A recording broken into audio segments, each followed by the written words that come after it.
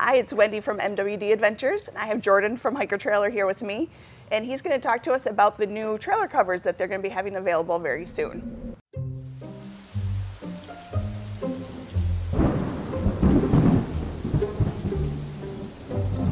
All right, Jordan. So this trailer is covered up. Yep. Yes. This is the soon-to-be new hiker trailer trailer cover.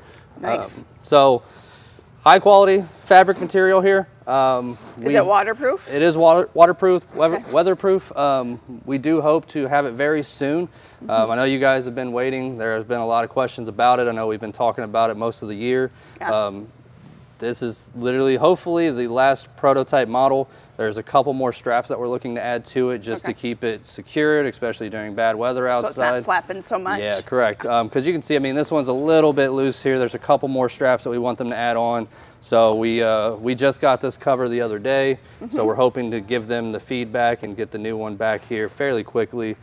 So is there just a one size fits all or is there multiple sizes to this? You know, with the multiple variations that we have in the trailers, mm -hmm. we mm-hmm. do have to add um, a couple different size options for this just so that way, depending on people are going from an eight foot to a 10 foot trailer, sure. you know, that's going to ma make this thing super loose. So we don't want that. And then also the front toolbox options, mm -hmm. as far as if people get a fridge box, that adds oh, a lot to the front. Higher, yes. Right, especially fridge box with the top rack. So we do have some different options for that. Okay. Um, so you will have to be a little selective on your choosing when you do buy this, um, but we will gladly help you with that once they are available for order. Nice. Now I noticed that there's zippers by the doors. Correct. So you can get into the trailer while you have it covered. Right, yeah. You know, it made sense to us, um, especially Bob, when he was looking at this, you know, with him having his trailer, he was trying to think about, you know, how would I feel trying to use it? So we yeah. did want to make sure the doors were accessible.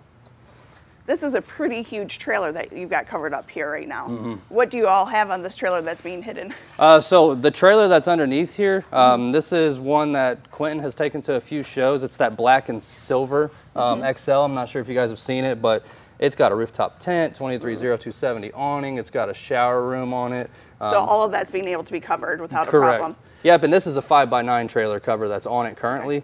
Um, so yeah, all that stuff's covered. Again, and, it's, and that's the thing, you can see it's still fairly loose, so that's what we're looking to you know, get away from and add those extra straps to it so we can get rid of all this loose.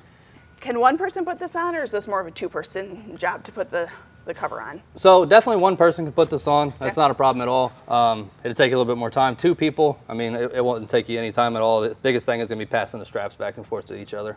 Yep. Well, this looks pretty nice. It's heavy duty. Doesn't look like it's going to fall apart anytime soon. Any idea on the cost at this point? Um, so pricing will be to come. Um, I don't think Bob's determined that just yet, but uh, I think we're still looking at having pre-orders available soon. And again, hopefully the prototype will be back in the next 30 days and we can get it rocking and rolling before early summer. Nice. Well, thank you. Yep, of course. Thank you.